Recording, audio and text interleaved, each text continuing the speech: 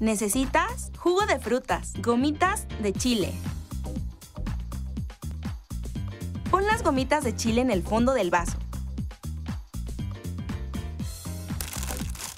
Llena el vaso con el jugo de fruta. Uf, para este calor, un jugo con mucho sabor. Adorna con unas gomitas maravillosas.